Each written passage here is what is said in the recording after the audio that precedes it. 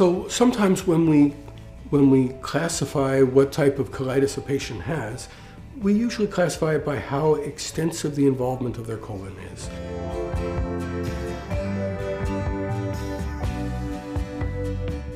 Ulcerative colitis may have distribution in different portions of the large intestines. By definition, ulcerative colitis starts at the very end of the colon and can extend farther towards the beginning by any different amount. Some people have just the rectum involved, we call that ulcerative proctitis. Some people have the rectum and then the next segment of colon involved, we call that proctosigmoiditis.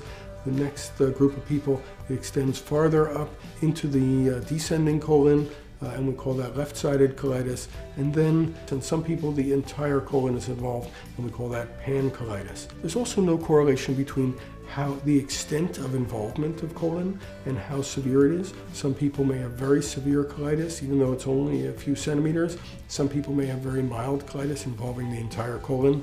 And so all of these parameters kind of move independently from each other. And that part of why that is, is really just not very well understood right now.